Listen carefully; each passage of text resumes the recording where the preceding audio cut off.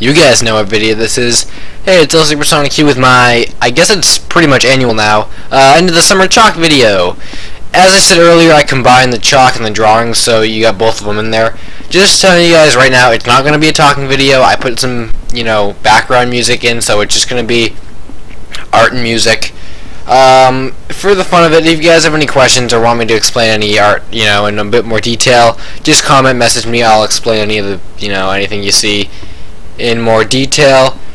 And the last picture in the chalk, um, in the chalk stuff is actually what I drew today, August 24th. So thanks guys. In September I'll have my two week art videos and then every other week in between that I'll have a talk series. I'm working on that.